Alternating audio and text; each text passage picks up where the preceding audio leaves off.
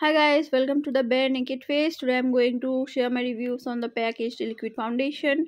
So I have prepped my skin and I'm applying the foundation all over my face and I haven't color corrected my face. So as you can see uh, that it shows up my hyperpigmentation, my dark circles and some of my spots and rest I'll be talking throughout so the let's video. talk about the PAC HD Liquid Foundation uh, as it claims it's a HD foundation yes it gives some of um, the HD effect. You can definitely see that.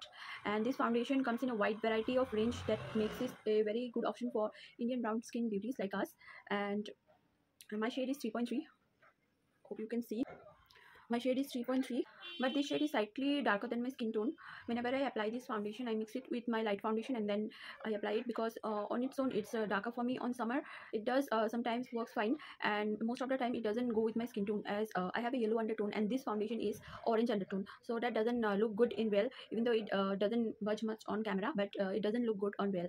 So um, so as on its own it's a good foundation. It stays on, on a long time and it's a matte foundation. Uh, it doesn't uh, settle down to your crease and you can see i have just applied two pumps of this foundation and that's uh, enough for my face. If i would have color corrected it would have uh, done more justice to it but it has nothing to do with that. It's uh, medium to full coverage it's buildable. Uh, but as i needed to show you guys that how it does on one or two pumps so i didn't build it up. And i personally don't like building up foundation as sometimes it cakes it up and i don't like i always most of the time i prefer natural finish foundation and i feel that's good because i'm not a person who wears foundation on daily basis.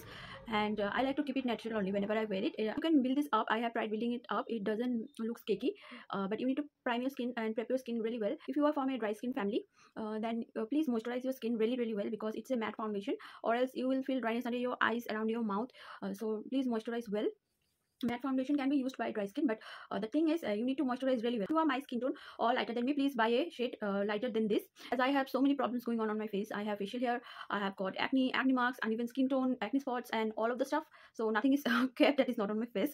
So uh, for me i need to color correct and then work on it. it's all about my short review on my PAC hd liquid foundation